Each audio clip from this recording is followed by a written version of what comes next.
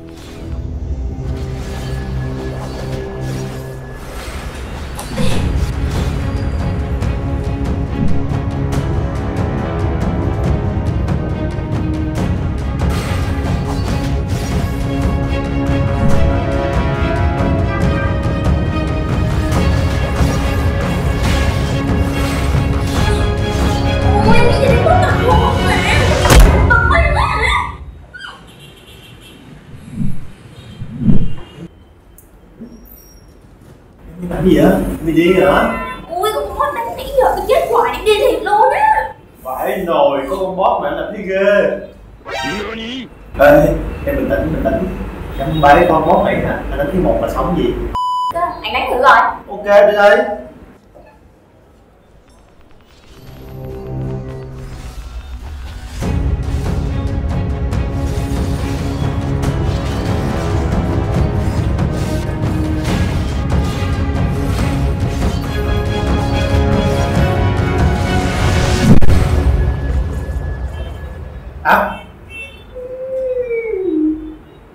Cua rồi chứ gì? Gáy cho to vô ha. Đâu có vậy như vậy.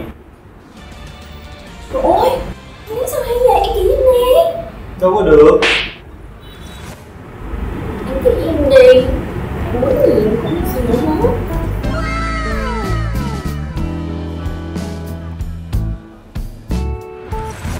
Để anh chỉ cho.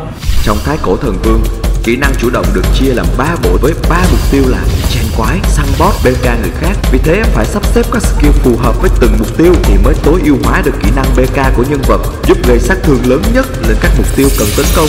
Nó sẽ có nút thay đổi bộ kỹ năng nhanh ở đây giúp em linh động chuyển qua lại trong các tình huống BK. Em giỏi quá rồi nha vậy nha Thái cổ thần vương, BK cực căng, kỹ năng quyết định.